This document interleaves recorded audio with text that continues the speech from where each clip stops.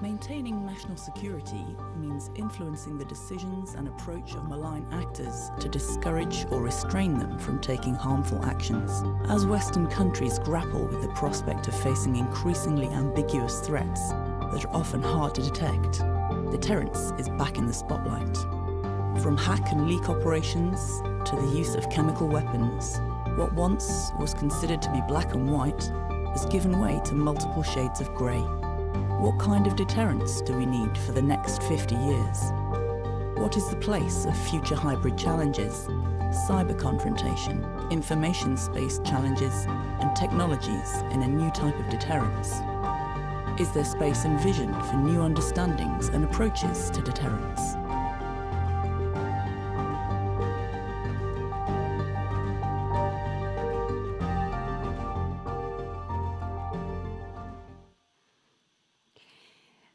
Gentlemen, please allow me to start off by saying two simple things, two simple truths. First of all, it's been five years since NATO uh, recognized cyber, cyberspace as a domain of operations. Secondly, uh, deterrence is a core concept uh, for NATO and um, for NATO strategy overall. However, when we take these two together and combine them, it becomes interesting, and so many questions emerge. And that is why it is my great pleasure today to welcome you to the panel that is going to deal with exactly just that uh, deterrence of the 21st century, new challenges versus old thinking. And our keynote speaker today uh, is His Excellency, Mr. Gabrielius Landsbergis, the Minister of Foreign Affairs of the Republic of Lithuania, our neighbors right there in the down south. Uh, Your Excellency, the floor is yours so much. Um, ladies and gentlemen, uh, big thank you to the organizers of, uh, of the conference for this kind invitation. Uh, over the years, the Riga Stratcom dialogue has become a signature event that generates and shapes ideas on how democratic states can deal with the growing threat of disinformation.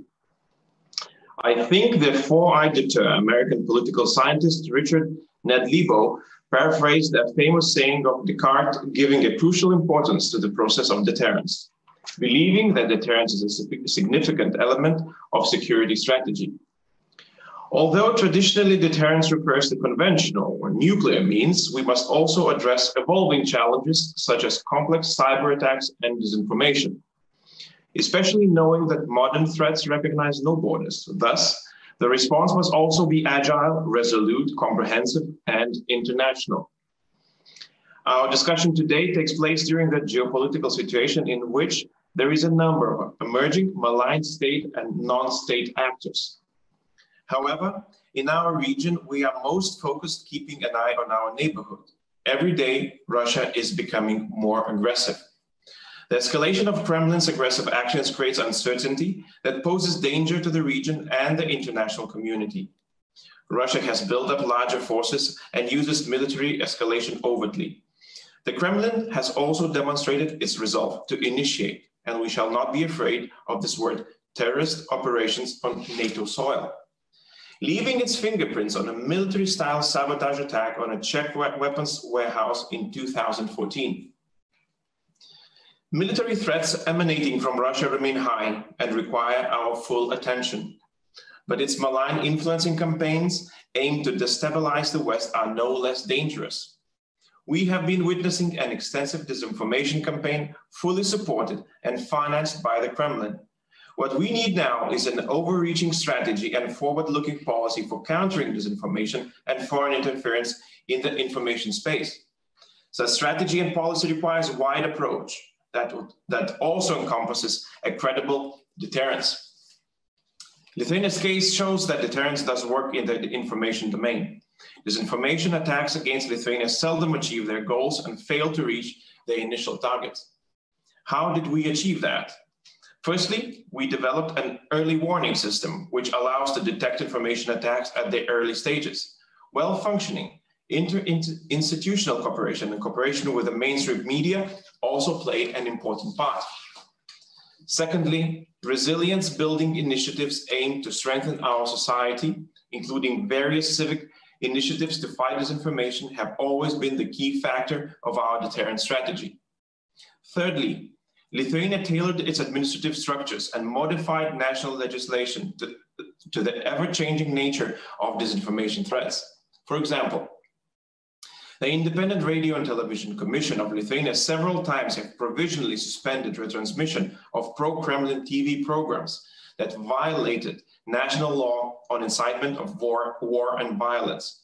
One of the first suspensions happened back in 2015, after which the European Commission concluded that the decision was adequate and consistent with the union's law. So how can we build on Lithuania's lessons learned as we debate a forward-looking deterrent strategy? First, we have to admit that it's impossible to prevent disinformation attacks completely.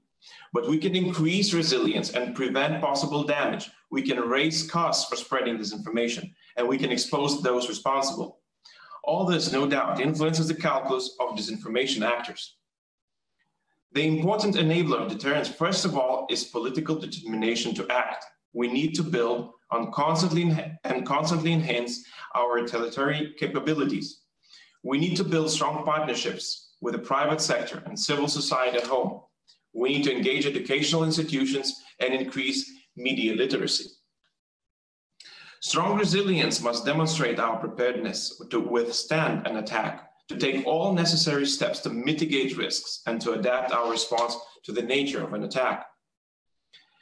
Here, we must also mention that there is no panacea for one size fits all approach when it comes to deterrence. The response must be actor specific and multi domain, be it legal, political, or economic.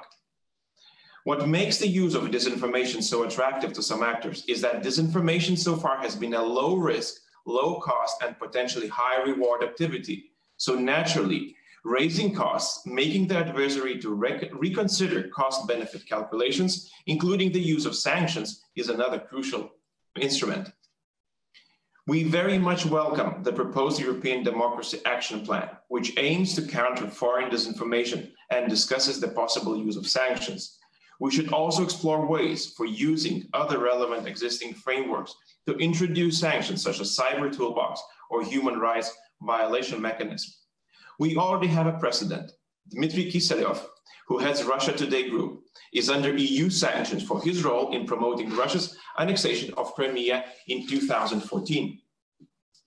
Another important deterrence element is denial of capabilities. Again, one of the examples is Russia Today. Russia Today registers in the EU, it invokes our rights and freedoms, but then it misuses the same rights against our societies by spreading disinformation that aims to divide our societies and poses serious security threats.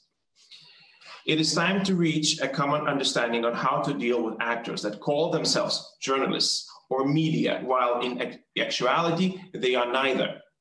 Their finances and their editorial policy are controlled by the government, and then, then they are used as an information weapon. There are cases when disinformation actors are their influence networks or proxies. We have to invest in our analytical capabilities so that we would be able to detect that and better understand how the networks are working. Imposing costs on proxies instead of patrons might also be a more acceptable alternative to some.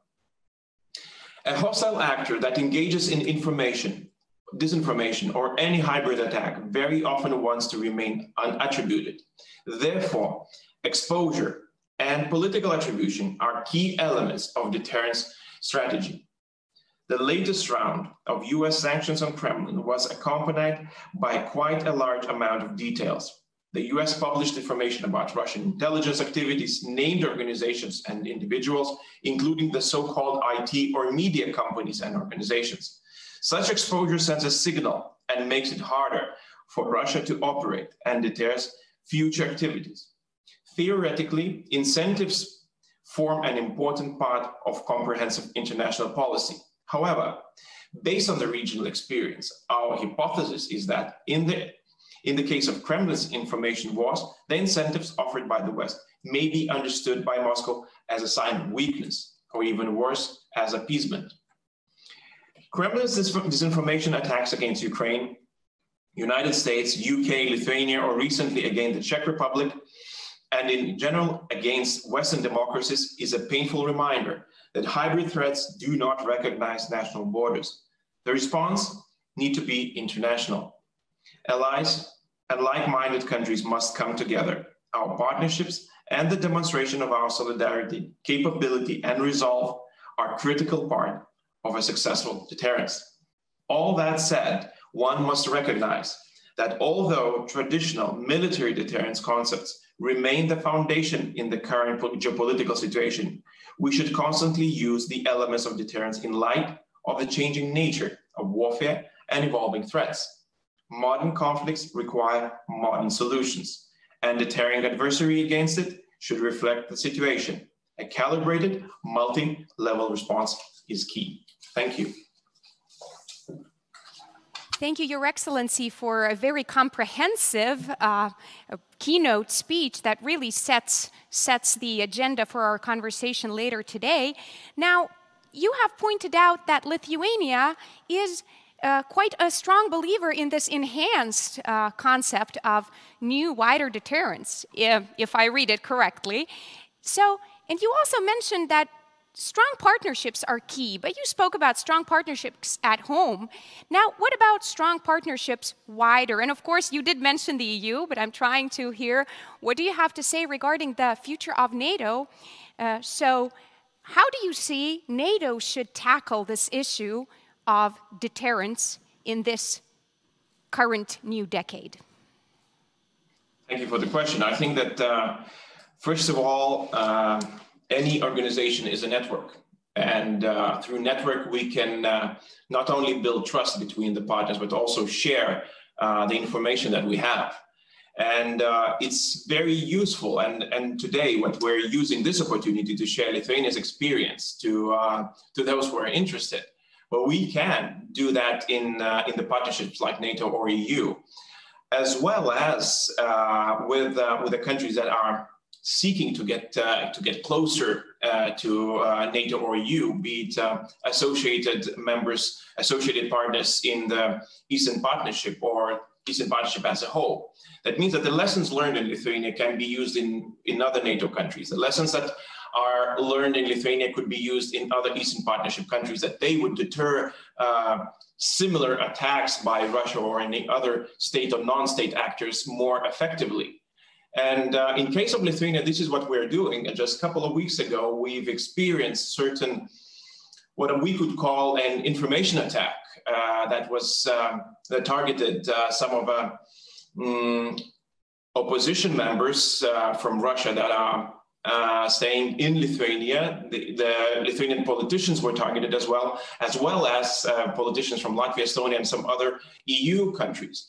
But then later on, we've shared the information with uh, our, our, friends and partners in Ukraine, and um, hopefully we help them better prepare for, for similar attacks if they would happen. And this, since you've dived into the Lithuanian um, experience here, I would like to um, kind of pull that thread a little further and ask you, you know, to pull this together with the topic of strategic communications. Obviously, when a country uh, or an entity is faced with, with, with, an attack of this kind, a strategic communication is key. And I believe Lithuania has, has had a very good track record in this, um, um, in this domain. So could you maybe please illustrate uh, how do you see that? What are the best practices and what are the challenges right now at communicating fairly, clearly, and as a united organism indeed when faced with these um, attacks, new challenges? Thank you. Uh, I think it's it's it's a rather difficult uh, question to answer, and I think it was um, uh, it was used uh, by malign actors uh, that a country is uh, was and used to be countries were used to be rather slow to react when a disinformation campaign is started. Um, you know, a country has to go through several uh, levels of checks and balances in order to counter a, a lie that is being spread, uh, let's say in the election time or something like that. But uh, in Lithuania, the, the, best example was that a, uh, a civil society joined in uh, as a uh, independent movement uh, in order to um, establish when the disinformation campaign uh, has started and to counter it.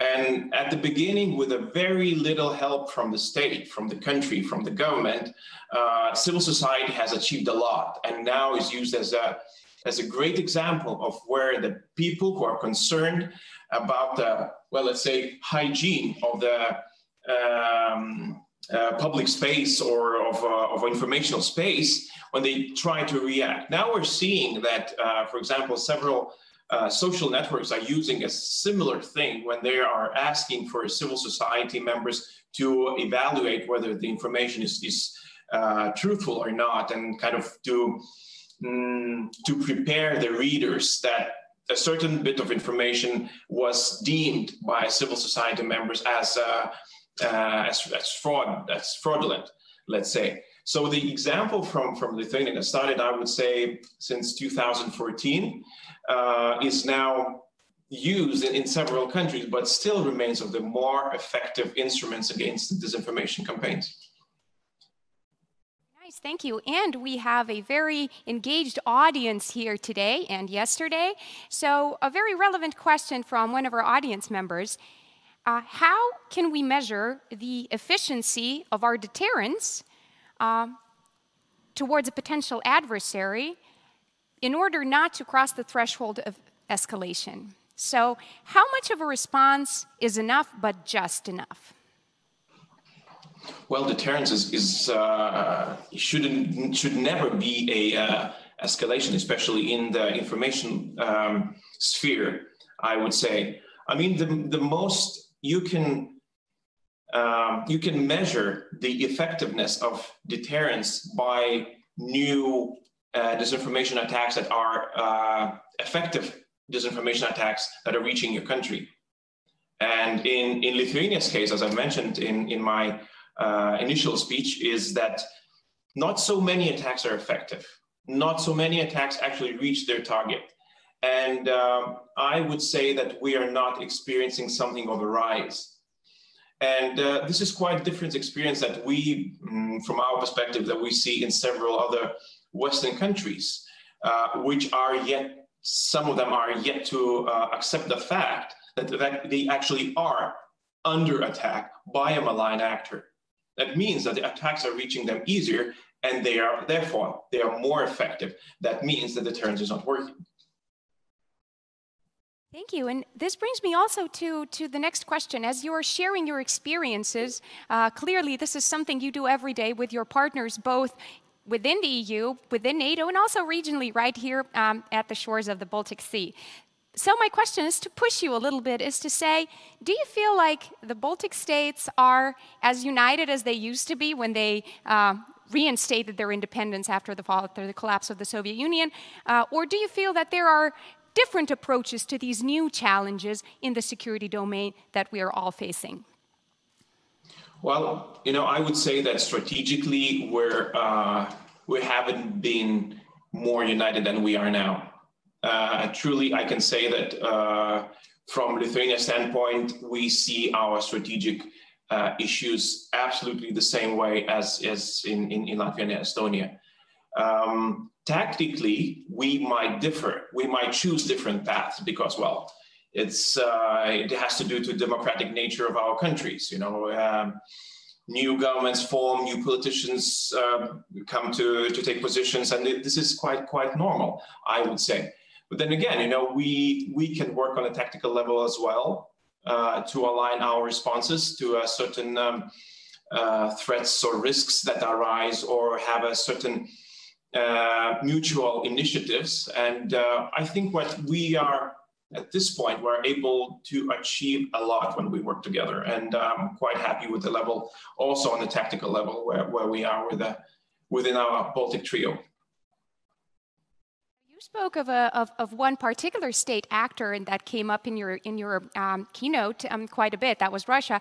But now the Baltic region is faced with more and more presence of another state actor that is also kind of pushing the limits of new deterrence, and that is China. Uh, what is your comment on, on this, um, the, on a regional approach towards the challenges and opportunities, as, as NATO uh, puts it, uh, that China brings to our shores?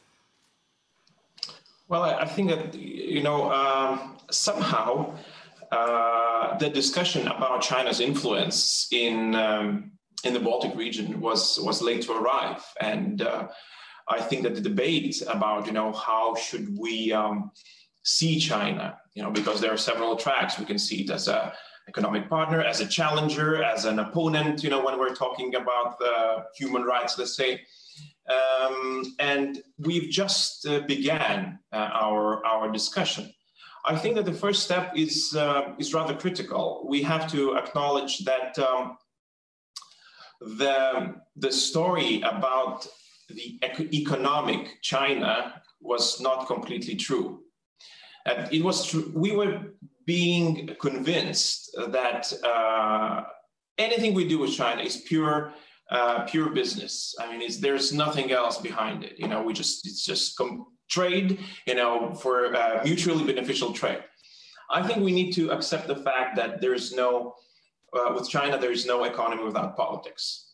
And with politics come influence. And then we have to agree, or at least start to um, discuss how much of the political influence uh, in this economic disguise we're welcoming and how do how we are dealing with it you know how do we approach it? Because when one one of the discussion partners is denying that it's all it also asserts political influence it's kind of a difficult discussion isn't it? Oh uh, i think that um, um, so for one i mean it's uh, the discussion started about this this format that is um, um that all of the three baltic countries are in were at least um, until recently engaged in it's 17 plus 1 uh, and, uh, and, Lithuania quite uh, quite recently took a decision no longer to participate in, in this format because we feel that it's uh, impossible to, as I mentioned, to uh, devise which part is pure econ economics and then which part is politics. So kind of we want a more uh, transparent, more clear relationship with um, with China. Perfect. And I was going to say thank you here, but we have a hardball question from the audience, and I hope you don't hold it against me if I ask it. Uh, so, deterrence is demonstrated. Uh, you know, in the kinetic domain, obviously, deterrence is demonstrated in, um, uh, via exercises, and it is observable by all, by all of the audiences, so it's clear and out there. Now, how would you see the cyber stratcom capabilities being exercised in order to deter? Well, you know, we have to we have to distinguish between the cyber and uh, disinformation, at least from where I stand. Uh, but certain rules apply to both of them. Uh, first of all, is um, attribution. Uh, you know, whenever we're talking about the cyber threats, uh, the the actors that um, that are involved in this and uh, make these attacks happen, they usually think that they're, they are disguised enough in order to the attack not to be attributed to them. There are so many ways to disguise yourself. You know, kind of uh, the country can be seen as a teenager in uh, you know in the basement in North Korea, and uh, and kind of how do you attribute who's who's behind the attack? But that did change, and the countries and uh, the alliance itself now has the capability and political will to attribute. And um, uh, I think one of the more interesting, but from the political science sphere, I would say cases was the solar attack, uh, SolarWind attack that happened last year, uh, the global attack. And um, it was very interesting to see how uh, the new administration in the US is, is handling the whole, um, approaching the whole thing. And they attributed it, you know, very, very easily they put a cost on it in uh, with a heavy sanctions, which was again the whole sanction concept was very new uh, in this in this domain. So I think that the countries are able to, uh, with these examples, are able to send a very clear message that if you're trying, if you're going to attack our country, in the cyber domain, these are the toolkits, and this is the toolset that we are going to use against you. We will attribute, we will sanction, so that means that we will raise costs for your next attack. Thank you very much, Your Excellency, for your excellent keynote and for your frank and very ambitious replies, which sets a great framework for our conversation uh, further on. And uh, we hope you, uh, we hope to speak to you uh, again within this format. So, uh, within the following formats, I, I, I, was meaning to say, pardon me. So now, uh, we have just to uh, clarify these concepts that have come, um, uh, come up today, we have, um, and to explain them further, we have three excellent experts. And I would like to start by welcoming uh, Miss uh, Rebeccah Heinrichs, who is the senior fellow at Hudson Institute. You have probably seen her on one of the numerous news outlets that she is uh, a commentator on, both in the US and also on our side um, of the ocean. She specializes in nuclear deterrence and missile defense, arms control, nonproliferation, teaches nuclear deterrence theory. Now, Rebeccah, let's start off by clarifying this concept of deterrence. What's its history? How has it even emerged? And what things look like from Arlington?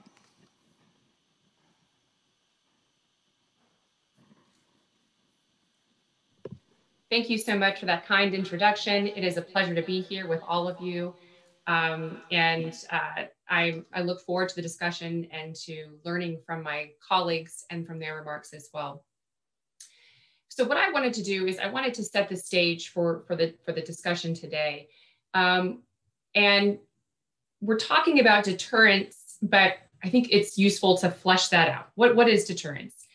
It, it is the, um, the act of convincing our adversary to not take a particular action against one of our vital interests. And, and so, really, what we're trying to do is we're trying to preserve the peace when we say that we're trying to deter. And deterrence was something that the United States um, discussed uh, quite a bit more during the Cold War. So, this is a kind of a concept that really arose and was much more robust in how um, we thought about this when we were thinking about how do we deter the Soviet Union. And since the fall of the Soviet Union, we've we've moved away from it as a popular or prominent conversation in the in think tank world or in in how uh, policymakers think about what the United States is doing in the world and how we're thinking about defense policy. And um, that has actually been the prevalent, you know, kind of case. But there's always been a few of us who have been plugging away. And my area of expertise over the last decade has really focused on Russia in particular. That Russia is still the, the primary adversary that the United States needs to think about deterring. And, and it's, it's, you deter an actor, you deter a regime, you don't deter action. So a lot of times when you hear people talk about deterrence, they say, we want to deter an attack on X, or we want to deter an invasion. You're really not deterring any of those things. You're deterring the actor from taking that particular action. And so different degrees of of coercion or of threats might be required depending on each particular action that you might that you seek to prevent from happening. Moreover, it's not just Russia that the United States is primarily concerned about um, anymore. It's now China, and China more than Russia. And, and the reason for that is because, uh, and I appreciated the last conversation you had um, where you discussed China. The reason for that is, is two things because we have a variety of threats facing the United States and, and facing the free world. But the reason we, we are so worried about China and the United States now is two things, and that's its desire to, to threaten vital interests of the United States, to contest those, and its ability to carry out those threats. And, and it has that, it, but the combination of those two things is a more potent, is more potent in the case of the Chinese Communist Party than it isn't even for the Russian Federation though both of them are very, very serious threats. And so the United States now seeks primarily to think about that's our pacing threat. That's that's who we're trying to deter, and it's who we're thinking about when we think of the rest of our defense policy. And it's how we talk about our allies and partners. And now NATO is talking about China very prominently. In the EU context, it's thinking about and talking about China. And, and the United States is pushing this, not just the United States, it's our, it's our allies, the Australians, the Japanese, um, and uh, the, the, the, Indians. These are, these are conversations that we're having there, um, but they don't stay there. You know, they spill over uh, to, into the European context as well. Um, and, and, so that those are, I, I, can go on and talk about the specific things that the Chinese and the Russians are doing that are concerning to us and that are driving this concern. But I'll just, I want to get to the rest of my colleagues' uh, comments as well, so then we can, um, I think, have a fruitful conversation. But the, but the, but the other thing that, that makes these two countries um, the most concerning for the United States, and that is their nuclear capabilities. And so when we think about deterrence too, you know, we, we, we will often now think about just conventional, we think about conventional threats, but really kind of the, the, the 400 pound um, gorilla in the room is that both of these countries are serious uh, nuclear powers. And um, if you've been watching the conversations in Congress, the very pu the public um, testimony of our, of our STRATCOM commander, he has been very publicly sounding the alarm as calmly as he can to American uh, to the American um, policymakers, but obviously all audiences are watching. So this goes this this is part of deterrence and, and strategic communications when you make these comments publicly. Um, that the that the threat of, of a nuclear exchange has actually gone up, and we probably are are we are we are at a time now um, that it's it's more of a serious concern um, than than we were since the Cold War. We're, we're, we're, this is where we kind of we've had this big uptick. Well, why is that? Why is that? It's because um, the way these countries are thinking about employment of nuclear weapons. And, and then I'll just leave this with in the, in the context, and you can see the direction. Again, you always think about the will of the country and the capability, the will to employ harm and their ability to carry out that harm. And in, in the case of the, the Russian context, we're very, very concerned that the Russians have invested so heavily in these low yield tactical nuclear weapons, making them more usable and thereby lowering the threshold of which nuclear employment might take place. And so when you talk about escalation and you're trying to um, use coercive diplomacy to get a country or to compel a country to stop doing their aggressive action, for instance, invading Ukraine, you're trying to get the Russians to get out of a country that they have erroneously believed is theirs because they have this erroneous belief that where there are Russian speakers, there's Russia, which is false. And it's a it's a complete um, it's a complete disregard for the, the rest of us look at look at the problem, which is that there are sovereign nations with borders, with distinct um, uh, borders of which all of us recognize, and you do not violate them. These are sovereign nations. And so you can try to compel using coercive, coercive diplomacy to get that country to stop doing that action um, that they're taking um, to reestablish peace.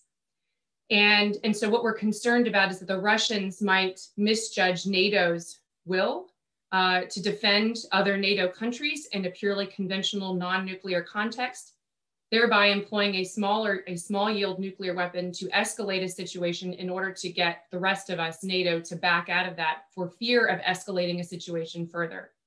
And, and we call that concept escalate to de-escalate. And so you can see that the threshold has lowered in the case of the Russian context. And so the United States has sought to, to, in, to, to raise that threshold to make nuclear employment much less likely. And I can give other scenarios that we're concerned about in the case of the China context as well. So deterrence is a very large concept, but but but really kind of undergirding all of it is the is the belief that there is this uh, this nuclear threat that exists. And so how do we stay in in the uh, domain in which we do not get to the point where we have a strategic attack um, against a, an American vital interest, which we count as a vital interest, the security of the NATO alliance. Um, as well as the our ability to carry out our security commitments that we've extended to our Asian allies in the Indo-Pacific theater, um, which means we, we would like to, we need to make good on our ability to extend credibly that nuclear umbrella to our Asian allies um, who are threatened by, uh, uh, by China. So I'm going to leave it there so that we can turn over to my colleagues and I look forward to their remarks and also to the, the questions from the audience. We let you sit back and listen to the colleagues, I want to ask you um, a couple of questions. Uh, just now, um, when you, uh, the, it, first of all, it's, it's really uh, worrisome what you illustrated. We somehow have come to believe that children ducking under school desks um, during a, uh, um, a training to, um, is, is kind of a 20th century thing, that this nuclear issue is a little bit in the past now. And what you've pointed out is that it could still uh, be something in the future as well. Now, you have, we had a conversation once, and what you told, told us is that, um, and that goes into what uh, His Excellency was asked just now in his, during his keynote Q&A, is the telegraphing punishment issue. So you, your, your opinion uh, that you expressed is that in these traditional domains, it's quite clear, right? Whereas in, the, in cyber and in these new uh, challenges, uh, deterrence is really murky because um, you cannot really signal punishment. Now, could you please explain, and I'm going to give the colleagues an, uh, the opportunity to maybe disagree with you on that.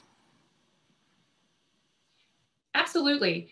Um, right. You, we, we want to be able to show again, deterrence is about convincing our adversary that whatever action they want to take, we will not, we will make sure that they will regret that particular action.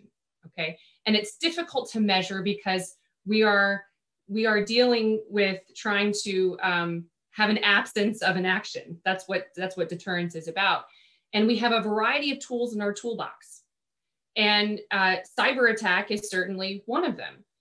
We, but, but because deterrence is all about trying to convey, trying to signal what, what these punishments can be. And you can have deterrence works in two forms deterrence by punishment. So you're retaliating against the other country for doing something that they should not have done, that your hope is to make them regret the particular action and not do it again. And you have deterrence by denial, that is thwarting whatever action they would like to take that would be against an interest um, uh, uh, of yours, the country that is that is the victim of an attack.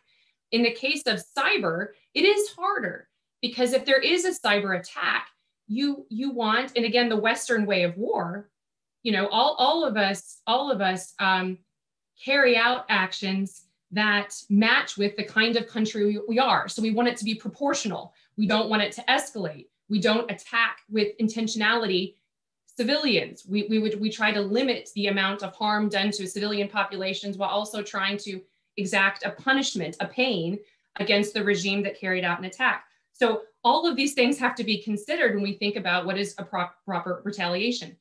In the case of cyber, um, sometimes you know, it's harder, but you can point to particular uh, attacks that do occur and um, without that country overtly taking claim for doing that, you can demonstrate what that country has, and then by inference, potentially what other countries have. So, for instance, to, to, to clarify, the Iranian nuclear program was just attacked.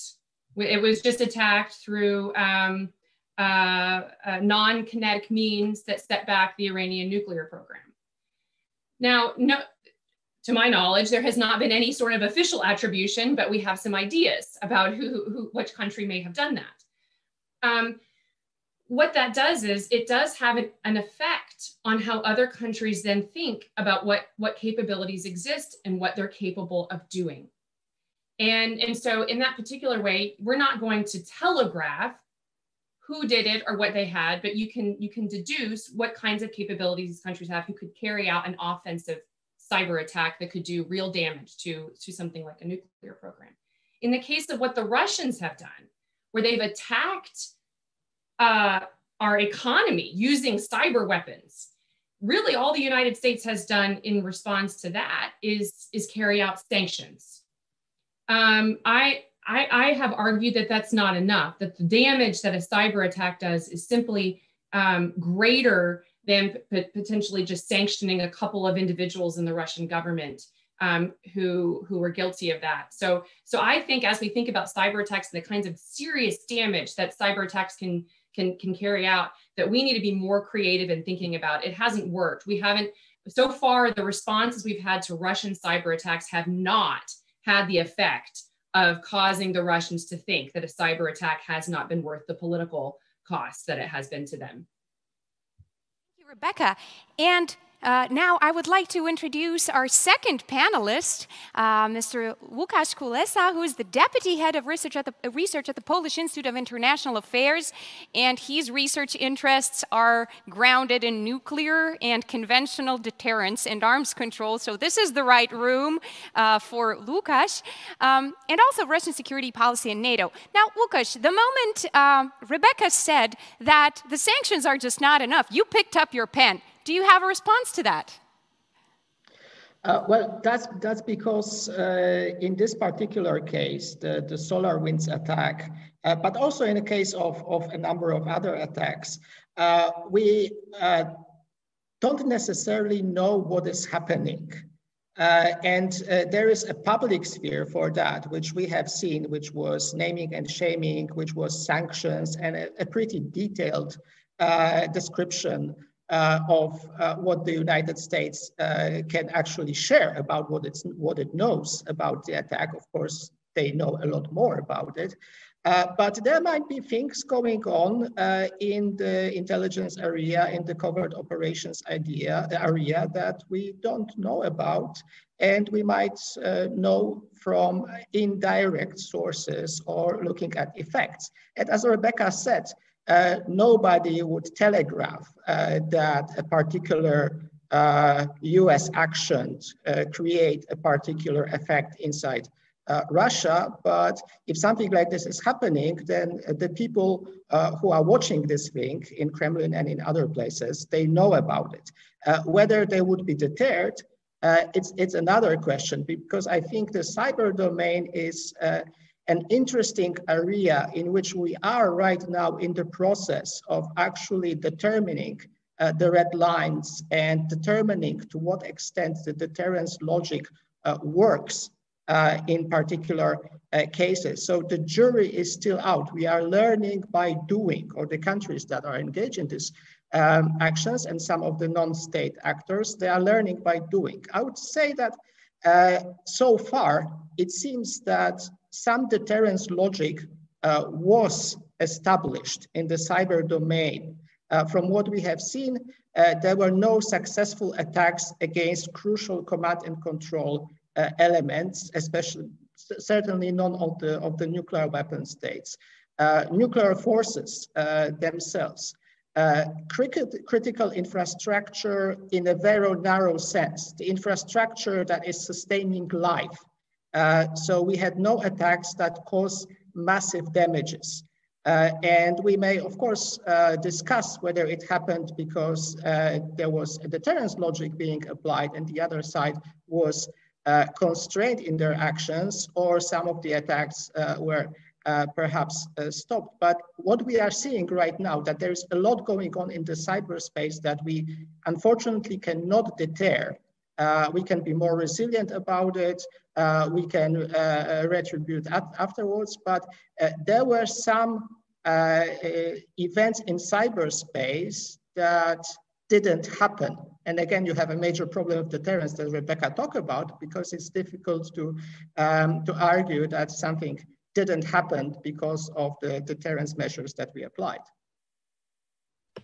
If I may jump into to what Łukasz just, oh, perfect. because he, he, he made a great ahead. point he made a great point about um, one of the things we have to consider when something like that happens, the SolarWinds attack happens, is what did not happen. And so I thought that was a really great point that he made, is that we did not see a, um, a kind of disruption uh, from a societal standpoint. A lot now, a lot of a lot of what did happen and a lot of the damage, and it was a massive cyber attack. So I don't want to downplay how bad it was and how serious it was.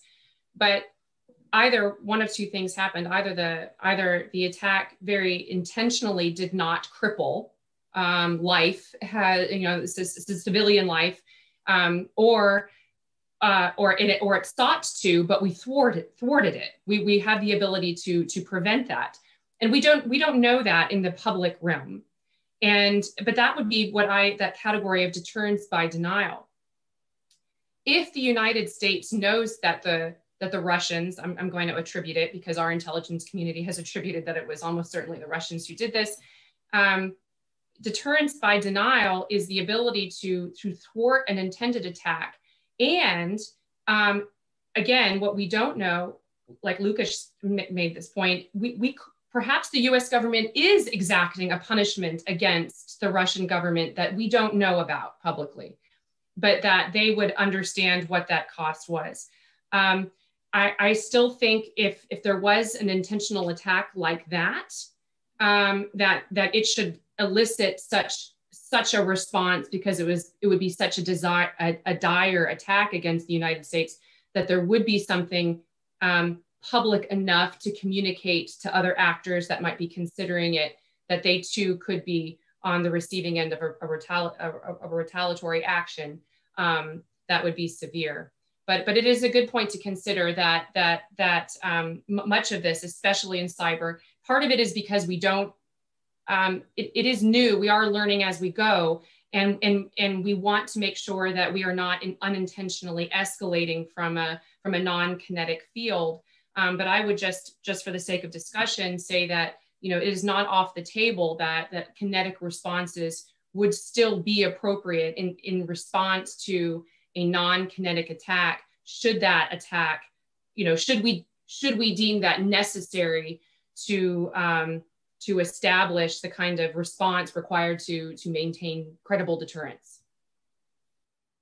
A lot about how things are seen in the US. But Łukasz, I'm sorry that I'm kind of chipping away at your presentation and at your 10 minutes of talking, but I just want to jump in right away with a question and then you can take it whichever way you like. Your time has not been exhausted yet.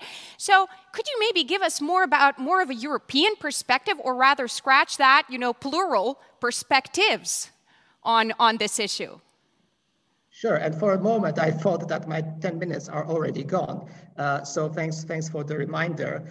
Um, yes, it's, it's, it's uh, of course a very rich field in the United States and uh, a number of strains in the deterrence uh, discussion. And if we talk about the uh, nuclear deterrence, um, it's uh, probably the United States that invented the, the field uh, in, the first, in the first place.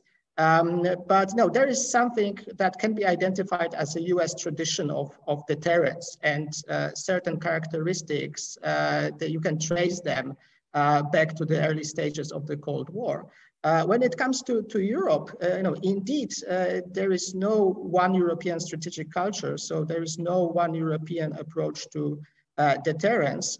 Of course, NATO acts as a great unifier and as uh, a great uh, source of the deterrence IQ um, in Europe. And uh, there is a defense and deterrence posture of the alliance, but no, not all European states are in NATO, but even those who are in NATO, they maintain their own uh, traditions or their own approaches. Uh, it's certainly true with regards to uh, France and the UK because there is also the, the nuclear aspect involved.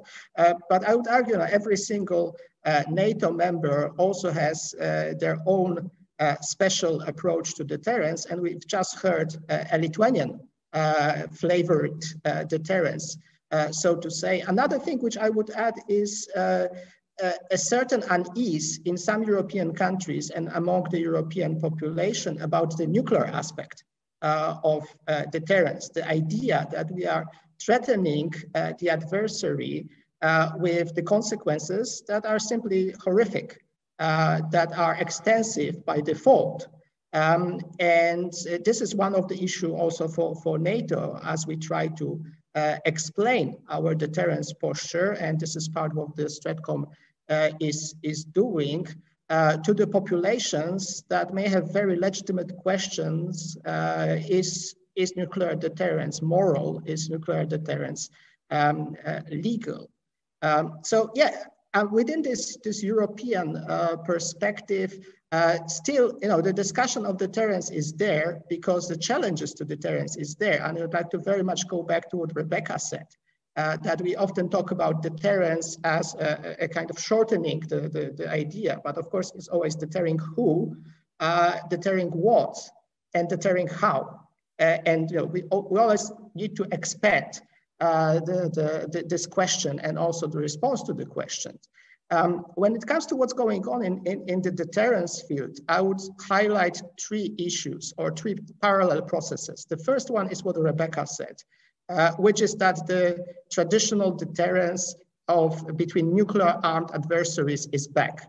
Uh, Russia, China, uh, sorry, not Russia, China, Russia, US, China, US, uh, India, China, uh, India, Pakistan, you can make these dyads and triads any way you, you want, with a twist.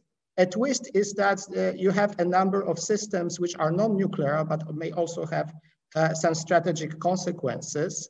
Um, but no, some of the traditional discussions is back. Also some traditional discussions about uh, the credibility of deterrence, of extended deterrence. So the United States, for example, extending nuclear deterrence to its European or Asian allies.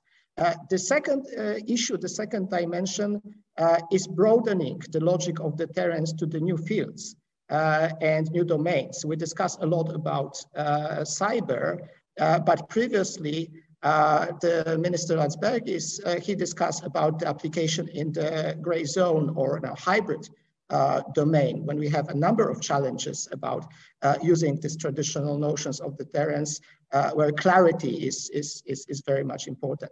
And the third area, the third process uh, is the question of deterring uh, non-state actors.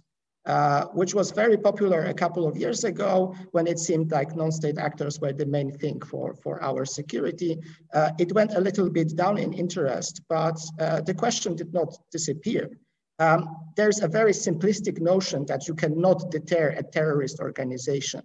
Uh, it's not true. You can deter some types of organizations from some types of actions. Just ask the Israelis and they're dealing with Hezbollah and they're dealing with uh, Hamas. So you, you take these three strains, then you add the technological advantage, advances over it. And I don't think that they kind of radically trans transform or negate the logic of deterrence, but they certainly have an impact uh, on the operationalization uh, of deterrence. Uh, and then you end up in a pretty complicated environment in which deterrence is not a static concept. This is, it's very dynamic. Uh, and if you ask me if you can apply deterrence to uh, cyber, if you can apply deterrence to gray zone, uh, I would say it depends. It depends, and we need to talk more about it. And let me stop here for the, my 10 minutes. I will be happy to go into the details during the conversation, the details of the role of the Stratcom, because I think this is, this is a very important uh, aspect of the, of the conversation. I will reserve that question for you. I just have the right question. But now we have had an extremely patient and very involved third panelist. And it is my honor to welcome Dr. Beyza Ünal, who's the Deputy Director of the International Security Department at Chatham House.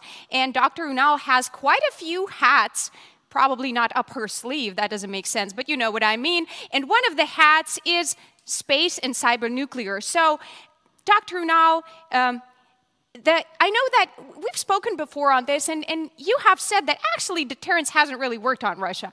And I have a question uh, to start you off. You, you know, feel free to incorporate it in your presentation whenever you like, but basically the question is, the MH17 case was well attributed to Russia by Bellingcat without visible effect on Russian behavior. Are we maybe too preoccupied with attribution? The floor is yours. Well, Una, just a question. Did my right now am I starting my 10 minutes remark as well? So so that link it up everything? Or Please. would you like me to answer the question first? Okay. Whenever um, you can touch upon the question because I'm sure you will find a place to incorporate it into your overall overview. Yes, yes, yes, there is. But I also I think just starting from your question on the attribution, I think attribution is just one of the measures that the Western societies and countries have um, in their toolbox and it's not the only thing that that we rely on. It's it, it's becoming one of the main issues. Um, the question that is whether when you attribute to a country whether that country actually deters from taking uh, further actions and not follow any more cyber attacks or not. And the answer to that from when it comes to russia is a no um, because we have seen a lot of attacks from Russia uh, so far, uh, cyber attacks, I mean, and there's disinformation, misinformation campaigns as well. And uh, there has been some attribution that's going on within the UK and United States on this, but uh, that attribution has not yet actually came fruitful in terms of deterring uh, Russia not to follow the, the further actions. So I would just probably put it in that. Uh, but I would like to probably touch on what Rebeccah was talking about, and as well as Lukasz, in a way, stated on the nuclear side of the issues and bringing it back to the emerging tech questions uh, that, that came out uh, perhaps. Um, I think there are two issues that we need to we need to focus on when it comes to deterrence and, and specifically to nuclear deterrence. Um, the first is that there, there, are a number of challenges that the nuclear deterrence actually faces in the 21st century, um, and that's not much you know talked about. Uh, but but it's not it's not the same as the Cold War period anymore. It's completely different. And that's why I think Łukasz mentioned that this is a dynamic, we need to talk about dynamic deterrence. Um, and the second point is, okay, if, if, there are so many challenges out there, what, what should we be do, doing about it? How can we actually uh, think it through? Um, coming back to the question that you raised, you know, in the traditional and nuclear uh, areas, um, whether we actually know how to deter and not know much about the cyber side. It's not actually true. Even in the nuclear agenda, we are not sure what, you know, when and how nuclear deterrence works. We know that in some instances nuclear deterrence works, but we do not know whether it works in all instances that we think it works. We do not know whether an adversary actually deters to take an action just because we are we have the capability and capacity to deter them or just be or perhaps because that adversary does not think that that action would suit them and, and would be valuable for them. Deterrence is just like very unknown in, in that sense, and there are uncertainties that surrounds uh, deterrence, nuclear deterrence. And that uncertainty surrounding the efficacy of the nuclear deterrence makes some experts question the value of deterrence itself altogether. They say that it doesn't matter, it doesn't work. And some experts actually hold on to that concept, and specifically because they claim that the, the, the world is full of uncertainty and nuclear deterrence actually prevents wars. Now, regardless of where you sit and where you position yourself within that debate, there are a number of challenges that nuclear deterrence faces today that, that we need to be actually thinking of. Uh, we need to think about this because it because strategically and cleverly in a way that it will help us shape our decision making and our policies around around different issue areas that we face today. Now, what do we know about the, the practice of nuclear deterrence? Nuclear, deter, nuclear weapons intend to deter an adversary, not to attack with their nuclear weapons. The practice of nuclear deterrence rests on that credibility, and it should be able to show the consequences of a nuclear weapons use. For an actor to be credible, they should uh, have the ability to communicate the resolve and signal the intent. And, and these are, I think, the core concepts of any strategic communication tools as well. It's really the ability to communicate your resolve and you, you need to signal the intent. And you need the capability and capacity to do that as well. Um, and it's important to realize that your deterrence at all actually rests on perception. and not all actors have the same assumptions and beliefs about nuclear deterrence. Not all of them think rationally, for instance, which is which is the core concept that we relied on during the Cold War times. Um, I don't think any one of us would say that Kim Jong un has the same rationality as Putin does or, or President Biden does. Uh, so we need to understand that uh, and put it into the 21st century context. And we have a long history between Russia and the United States on nuclear deterrence and how nuclear deterrence works and each uh, other know about their capabilities and their limits and so on. But certainty around these are also becoming blurred and there are a number of reasons for that that that uh, Rebeccah and lukasz also mentioned. The first reason is is i think the changing nature of warfare the nature of conflict and warfare has started to change completely. It is no longer about winning wars in a battlefield, but it's more about preserving and sustaining the, the peacetime activities. But we need to realize that um, peacetime activities and conflict time activities started to fuse in together as well. For instance, you know, we mentioned about Russia using gray zone activities to test the, the boundaries of the Western allies and of NATO as well and cyber attacks, for instance, or um, cyber attacks to critical infrastructure, information operations, disinformation campaigns, all actually fit into that gray zone activities that, that Russia, Russia has been putting together. Now, nuclear weapons does not deter any adversary from these type of attacks or these type of threats. It is not aimed to do so at the first place as well, right? Um, so we need to think about new types of like deterrence and whether that that new types of deterrence actually deter the way that we we we, we would aim to and want to. Um, and, and I think that's the, that's today the missing part. The allies do have strategies to deter disinformation campaigns or deter information operations. However, we do not know whether the impact of these strategies to prevent Russia or China following such attacks or North Korea at the first place. The impact of it is not yet known.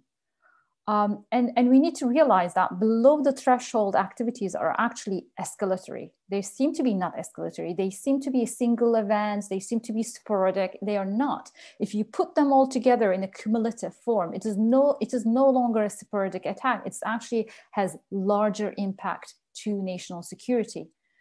Um, and that's why we need to think that if cyber attacks not happening today, that that uh, has an effect to any life form is one of one type of thinking.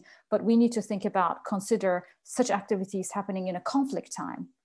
It's not going to be uh, under the threshold anymore. Everything will be feeding in. That's why we're talking about multi-domain operations today, for instance. Um, also, I, I, I, want to say a few words about um, the tendency in a way to you know stretch nuclear deterrence, which is something that Łukasz mentioned, to other domains. Um, cyber deterrence is a good example for that. There, there are some who argue that you know hacking back the adversary would prevent the adversary to conduct uh, follow-on attacks, and that's not true.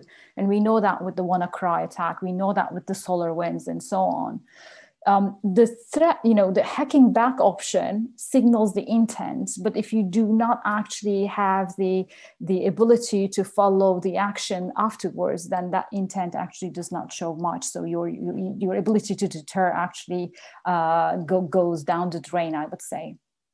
Now, lastly, what what should we be doing about these things? First of all, I think we need to change the way we think about deterrence and nuclear deterrence. We need to think about the complex set of relationships for which there are many ways, many different ways to deter a hostile act. Nuclear deterrence may fit into responding to only one set of issues and maybe may fall short in explaining others. And gray zone activities, I think, is a good, good example for that. And the second thing I think is that we need to rely on tailored deterrence perspectives. And I really liked Łukasz's point about dynamic deterrence. we need to find a way of applying that, I think. Um, and the third and the last point, which I think goes back to uh, President of Latvia's and the Foreign Minister of Lithuania's point on resilience, is emerging technologies and new ways of warfare challenge nuclear deterrence. We need to also start thinking about deterrence through resilience. And the best way of deterrence strategy, I believe, is resilience we need to find a way to decrease the attractiveness of an attack to the adversary. And that is where the resilience comes from. Um, by creating resilient systems, this could be resilient systems of nuclear weapons architecture, it could be resilient systems um, that we put like early warning systems and so on, but also developing resilient societies, resilient to the shocks to their daily lives and also shocks to possible low likelihood but high impact events in disinformation campaigns, for instance, this is key. If there's one thing I think that like COVID-19 pandemic should have taught us all is that resilience is key to mitigate the risk and bouncing back even stronger. So that's, uh, I think, my take on this, Una. Thank you, dear Beyza. And before I give the colleagues the chance to respond uh, to the points that you made, and thank you for making them, we just uh, uh one thing in particular that you said rang really kind of touched a spot with our audiences, and that is what you spoke of when you spoke about perceptions. And so the question is quickly will we ever understand the perceptions of adversaries with enough confidence to, uh, to develop effective strategy? In the realm of philosophy, maybe, but still. So, so it, it, this is a really important question. I think uh, there will be no hundred percent of understanding the adversary. We can we can try to understand them in terms of the cultures and norms, but there will be always a subjective point of view when we look at Russia, when we look at China. Um, the, the environment itself shapes your shapes your perception in that regard. But what could be helpful, in my view, is how can we actually shape our perceptions is through the behaviors and through actions. You know part of that perception and the, the, way that we think about the adversaries is is through their behaviors and through their actions. So how can we actually change that? How can we create a an area where we could think about better suited actions for both actors to live together in a way in a more peaceful manner. Uh, that's that's the place where we need to think about the un um, group of governmental experts discussion on cyber or any type of norms and behaviors that needs to be established for instance on the emerging tech areas.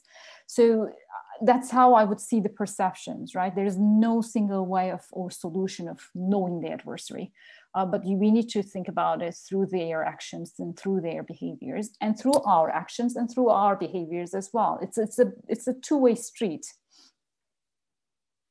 This actually gives hope to the regionalists out there, including myself, who make uh, a living out of analyzing um, uh, other countries and other uh, as a China analyst myself, um, I can definitely agree with your analysis. Now, please, uh, Rebeccah, do you have a response to any of the, any of the points that Beyza made there?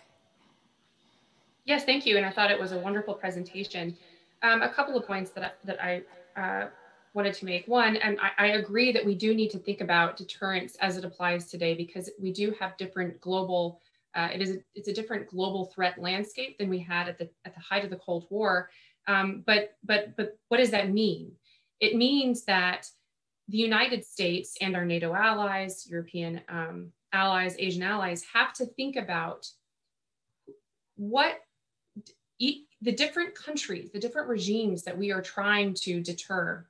Um, they they come to the table with different ideas about what their national objectives are, what risk they're willing to assume, um, uh, and and what they might deem reasonable or not reasonable. So I appreciated the point about North Korea. I actually think that the North Korean regime is incredibly rational. It's just that the North Korean regime's underlying assumptions about what its national objectives are are wrong. Um, in other words, um, to, to the, in the minds of the North Koreans, uh, it, it, makes perfect sense how they act. They believe that their that their uh, leader is essentially a, a god. Um, they have an authoritarian, closed regime, and so the challenge for the West is to not place our own understandings of what is reasonable on our adversaries as we try to consider what they may or may not do in response to our particular actions which gets to the to your point about can we really understand the intent and the actions of our adversaries?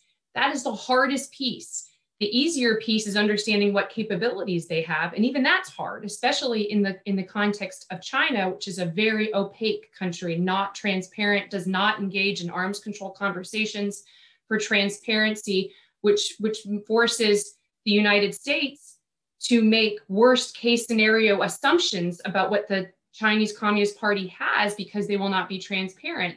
And then we have to um, build our own force posture and defense posture towards them with a, a, a, lack of information that we, we might have more of in the case of the Russian Federation.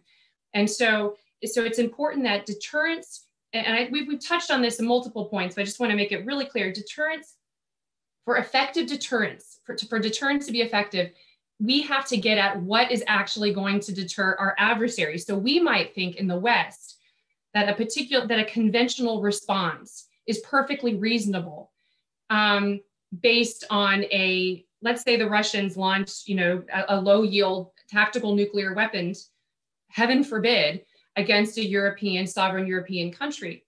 It may be the case that a conventional weapon in response may actually take out a particular um, uh, means of their ability to carry out another strike but but a conventional response and to, to signal that we would only respond conventionally in the case of a nuclear um, offensive strike would crack deterrence. We need to we need to try to understand what will actually deter the Russians, and that is how the United States and the West um, should be thinking about deterrence. And this is why this is a hard. It's a paradox. I it's a paradox which makes it very challenging.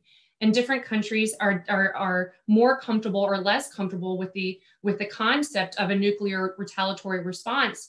Um, but but the point of it is is we're trying to prevent it from happening and so we have to convince our adversary of what they are fearing of what they don't want to happen which is why the united states and our allies should be thinking about in adapting our forces based on real threats that are changing and dynamic happening um, in real time in the 21st century well, thank you very much for giving me a segue into uh, bringing Łukasz back into the conversation. And he had asked us to provide him with a Stratcom question. And indeed, our audience is helping us uh, kind of narrow this down. And as uh, Rebeccah just said, what can we really do? So, Łukasz, uh, as you respond also to some of Beyza's comments, maybe you can say, what, and this is a question from our colleagues uh, um, who work in Stratcom. Um, what are the roles and the responsibilities of NATO Stratcom in deterrence? We are not responsible for it, but we do support it.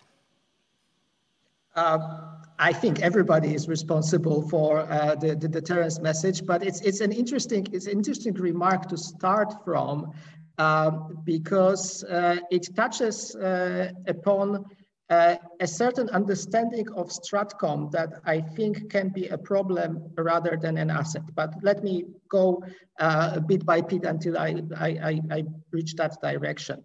Uh, so in a sense, no, strategic communications, not as Stratcom, but strategic communications are at the essence of the of deterrence because you need to be able to convey the message uh, and shape the perceptions and actions uh, of the opponent. Of course, you don't only do it through verbal or any other uh, means. Uh, you use a, a variety of, of, of, means and, you know, uh, readiness level change and troop deployments um, tend to speak uh, louder uh, than press statements. but there is, a, there is a role also for strategic communications. And I would distinguish between two aspects. One aspect is support for what we call the general deterrence. Uh, so applying it to Russia, uh, we deter Russia from uh, launching an armed attack against a NATO country. and there is a kind of continuous role of Stratcom uh, in that uh, task in a number of uh, areas. one, by transmitting to the opponent our set of deterrence messages deterrence messages based around the idea of uh, political unity, cohesion, uh, capability, uh, willingness, as it is, uh, for example, put um, in our statements, but also in our doctrine. Then uh, pushing out messages about deterrence-related actions. Exercises were mentioned, but also um, deployments, uh, also any kind of uh, contacts with, with the partners. Um, so that's one part. Uh, then the second part uh, is informing uh, our audience, uh, but also the, the audience outside um, about the nature of the deterrence posture that NATO has without sugarcoating it. Uh, so I'm always a little bit worried when I see uh, the news flashes from the uh, extended forward presence or tailored forward presence forces, which is about you know, how we love the local cuisine and how we are friendly with the people. Uh, it's all nice, but you know, it's, it's not exactly deterrence. There is a, a root cause of the deterrence as word, which is about terror, which is about creating fear. So there must be an element also to, uh, of, of showing uh, to everybody that the deterrence posture uh, is also about the ability to fight and to prevail in a, in a conflict. Uh, and the third issue is about assuring our populations more general. Uh, but that's general deterrence. Then you have immediate deterrence. Uh, so uh, in September, we uh, are deterring Russians from launching an attack under the cover of Zapad exercises. And I'm not saying this is going to happen, but just to give you an example of immediate deterrence situation. Uh, and at that point, Um, I'm slightly worried that in an information space, uh, which is uh, con congested, uh, contested, flooded with this information, Stratcom would basically lose the ability to convey deterrence messages, that it would be seen just as a, an information noise or something which is done by the specialized Stratcom cells within a particular organization. Uh, and I'm a little bit afraid that this might be actually ignored uh, by the opponent. Um, and it also has the, it also acts, uh, acts in the other way.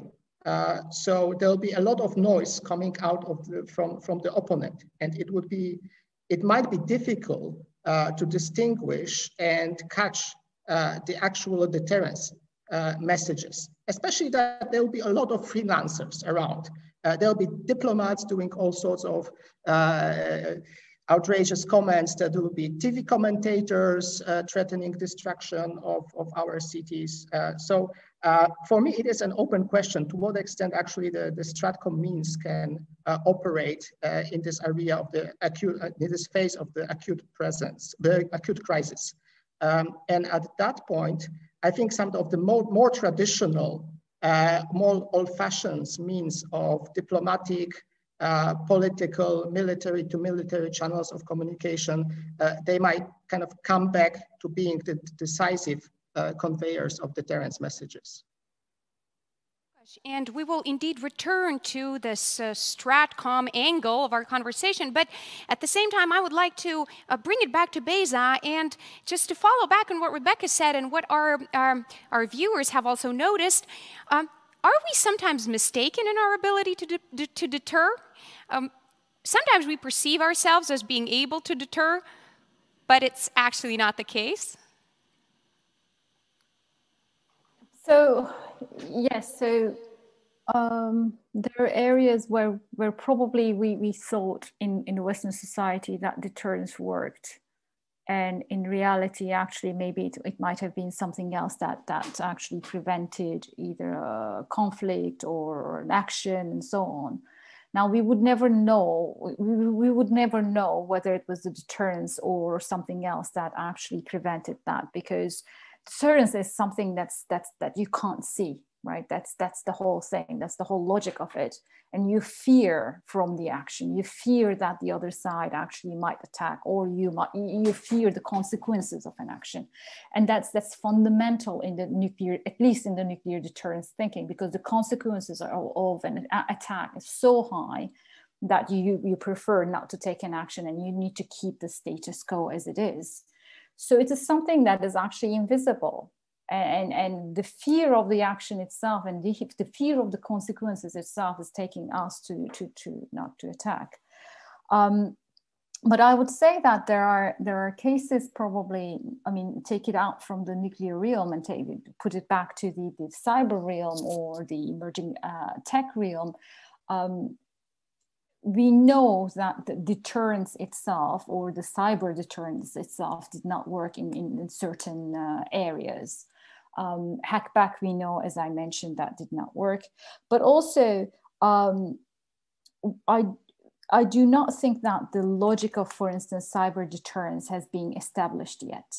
Um, I'm not, I, I don't think that, that, that, that is true. I don't think that um, you know, Russia or China would not attack uh, nuclear weapon systems or any type of weapon systems um, because there's no agreement on that. And uh, just because we do not see something happen doesn't mean that it's not happening uh, or doesn't mean that it did not take place. Um, we do not have any known incidents, for instance, uh, from, from you know, previous, there, there is no known incidents of a nuclear weapons uh, system hack. But we know actually that there are a lot of incidents from the supply chain onwards that the, the attackers actually tried to infiltrate uh, into weapon systems, including nuclear weapon systems. Um, there is, in the North Korea case, for instance, there has been a lot of uh, reports, public reports on this, that the United States tried to infiltrate into the North Korean nuclear weapon systems. And there was actually one incident in 2016, I believe, that one of the ballistic missile uh, launch had failed. And then it all started whether actually it was the united states who who followed that uh, attack. So we need to be i think careful a little bit about the way that we think about cyber deterrence and the way that we say uh, that there has not been much you know attack happened to the weapon systems. It's just things that we do not know doesn't mean that they, they're not taking place um, and, and also there are a lot, a lot of attacks on the critical national infrastructure. Um, Iran is only like one of the examples for that. The NHS attack, the, the, the WannaCry attack is a really good example of how devastating things can take. Uh, another good example of that, and I can give millions of examples on the cyber actually. Another good example is the city of Atlanta attack and the impact, the economic impact that it cost. Um, I can think about for instance, attack to space assets, cyber attack to space assets. And, and if a successful attack as such can takes place, then, the, then there will be cascading impact to the critical national infrastructure, to the weapon systems and so on. So we're talking about systems that are actually linked with each other. It's not a system that is, you know, that's, that's siloed on its own. That's why, you know, in a crisis time, in a conflict time, I believe that we will see uh, higher consequences uh, than what we're seeing uh, today. I think Rebeccah, you want to uh, get it, get in. Do you? Just, just quickly though, Beyza, don't leave that fast. Uh, right. I got you right here. Uh, what you were saying that you know that this is kind of a tough, tough situation, and um, but you mentioned that you know once such an attack takes place, it affects all these linked systems and it ripples down, and our audience members are wondering well, if there's the linked effects, could there maybe be a link to the response? Can we credibly deter aggressive behavior in other domain than the attack is expected? Um, for example, so attack, attack in information sphere and the response in diplomatic or economic one, how we should signal out intentions to the adversary for him to or her to understand our aims and avoid any further escalation. If you could just quickly come back on that. Yes, so th- th- this is a really good question because we generally think about deterrence as like one to one, as if it's like the same nuclear deterrence det- uh, deters nuclear weapons attacks. That's true, but deterrence itself is is not the same concept in the conventional space as as well as in the new emerging uh, space as well. And I think the asymmetrical asymmetrical response is probably the best way forward in a way when you think about the emerging technology areas. So you do not try to deter cyber attacks with a cyber attack. You can deter cyber attacks with other type of measures that you may want to put through asymmetrically in a way. Um, one thing though we need to be careful about is the escalation process of that. When you're thinking to deter a cyber attack through another measure, you may unintentionally escalate the situation. So, so we've got to be very careful really on, on clearing the lines where, where you are escalating and where, when you, where you are actually uh, just responding at the same level. Uh, so that that should be uh, that should be obvious, I think. Um, and it's not at all times obvious. It's not all times uh, clear and certain. Rebeccah, please, to, the floor is yours again. Sure. Yes, I, I would just say that I, I, think that nuclear deterrence has held um, over the last many decades. The last time uh, a nuclear weapon was employed intentionally in a time of war, of course, was the United States um, uh, ending the, the Second World War. And we have not seen uh, the, the intentional employment of, a, of a, an atomic weapon since then, nor have we seen a major war uh, of the likes that we saw in the two major world wars. That is not to say um, that we still haven't seen military conflict. Of course, we have. Uh, even at the beginning of the Cold War, we the, the Korean War, of course, was an incredibly bloody uh, war with a high number of, of, of, casualties. But we did, but we haven't seen anything like to the to the, on the scale of the two world wars. And so, um, I I'm I'm very persuaded that nuclear deterrence has held for its purpose, which is not strictly to uh, prevent the employment of nuclear weapons, but it is to it is to deter major war. It is to deter major war. And the reason I want to make that distinction is because we have not adopted a no first use policy, meaning the doctrine of no first use is to say that a nuclear weapon would only be would only be employed. Um, we would not be the ones to employ one first, and a sole purpose use would be to only employ a nuclear weapon in response to a nuclear weapon. We, we maintain a policy of strategic ambiguity because the purpose of nuclear weapons is again to deter major war. And so there can be purely conventional strategic attack against a NATO ally for the purpose of destroying the NATO alliance that may actually, in fact, have strategic consequences. And, and that the that um, the alliance uh, may may determine um, a, a, nuclear retaliatory response is, is, is an appropriate response. So I, I want to make that clear distinction. And, and, and, and again, this goes back to uh, the great points about signaling resolve. A lot of deterrent, because a deterrence is an art. It is an art. It is not a very clean mechanistic formula. It's not a science. And so a lot of geopolitics plays into what is going on in the minds of our adversaries. And then um, and, and I would just, I want to say too, for um, we, we've talked a lot about punitive deterrence, you know, retaliatory responses, but I, I, really want to highlight the importance of, deter, of deterrence by defense or deterrence through denial.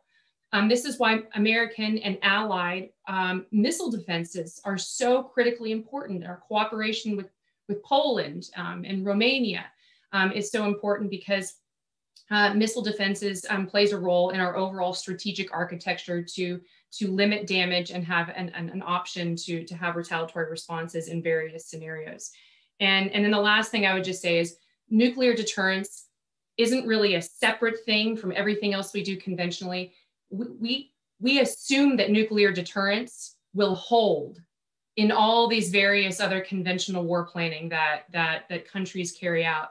Um, in other words, you know, whenever you're thinking about a, a particular crisis or conflict that you're trying to deter or dissuade or or de-escalate kind of baked into that assumption in those operations is that it's not going to spill over into a major war. So, you know all major wars started off as small war, wars. And so i think it's important that we think about that um, which is why it's so important that we're thinking seriously about deterrence, about nuclear deterrence, about how we're signaling resolve and making sure that our countries, in fact, do have resolve. Back to Łukasz's point, I thought this was brilliant.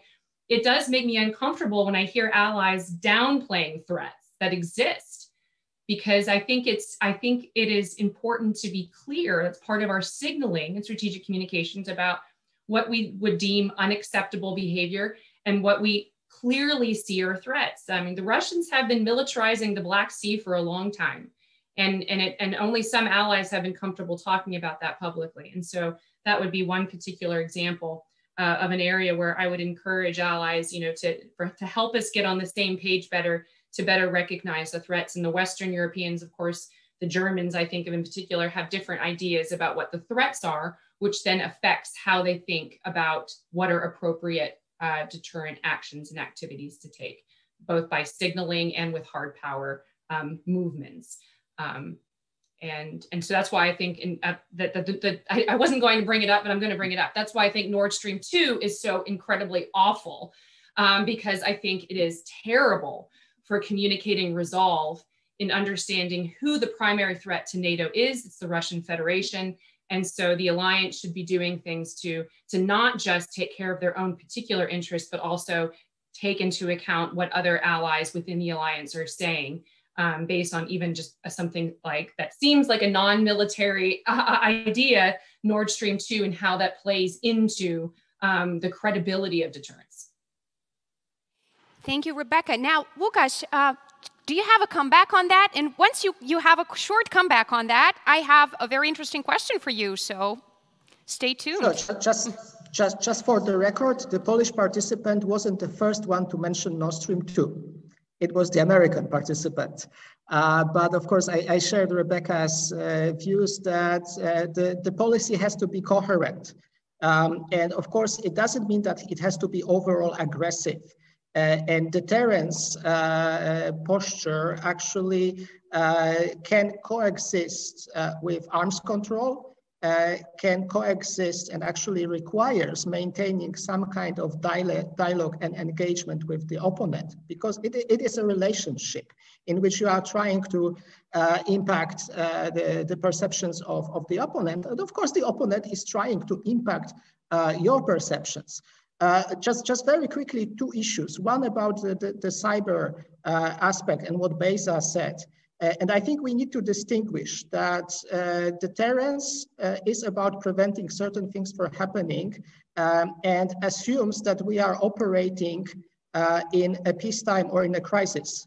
Uh, you enter into wartime and several things become possible, uh, including attacks that, cyber attacks that are prepared during the peacetime or the crisis time. And that's why you need infiltration. That's why you need intelligence uh, gathering um, things like this. So personally, I don't believe that you know everything would be off limits uh, during uh, a, a wartime.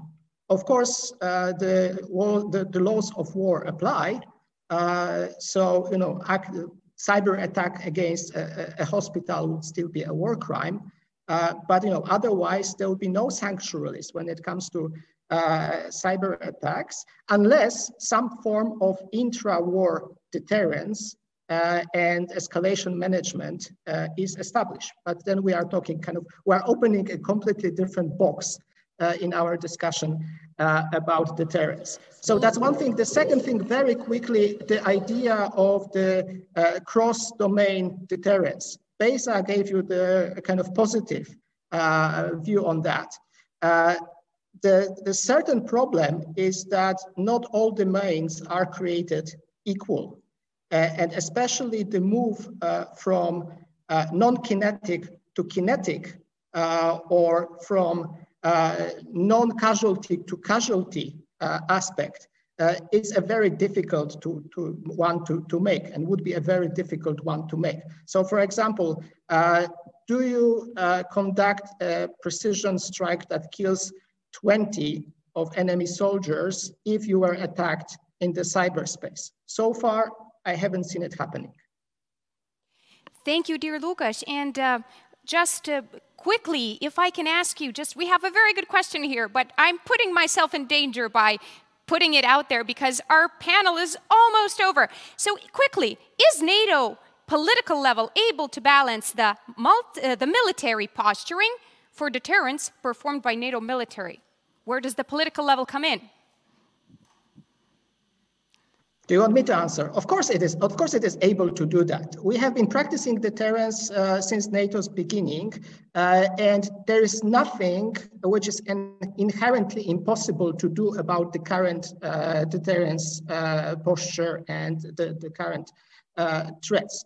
Uh, but you know, that requires, and here I go back to, to Rebeccah, that requires a very open discussion of what your deterrence approach can bring you and what are the limits of deterrence? Because deterrence is not a universal solution to everything. There are other approaches, there are other policies that the alliance uh, should, uh, should make. And I can just go back to the Harmel report, which was part deterrence, but was part dialogue and engagement and shaping the international uh, environment. And I see it perfectly, that NATO being perfectly able to do a similar thing. Uh, and that's enough for me. Thank you, dear colleagues. And now a quick lightning round to sum up and to finish. Back to the question of our, of our um, panel today. Um, old thinking versus new challenges. So the question is, it's a yes, no, and why question, right? So whether you agree or not, and quickly why, should NATO uh, deterrence concept adapt and widen in the coming, in this decade? Beyza, please, yes, no, why? Oh, starting with me, uh, deterrence concept. You didn't say nuclear. Shouldn't yes, it should be widened, um, but it should be widened to a level that we need to understand what we are uh, deterring and who we are deterring and when we are deterring them and in which uh, type of uh, conditions are we deterring them as Łukasz said, it's a dynamic concept. So you can't just just put one concept out and make it as a as an overarching concept to to apply to every threat that NATO faces. So that's my answer. Rebeccah, you have 30 seconds. Yes, no, and why? Yes, of course. And I think it's, you know, the United States is no longer sitting at the apex of its power that we enjoyed at the height of the Cold War.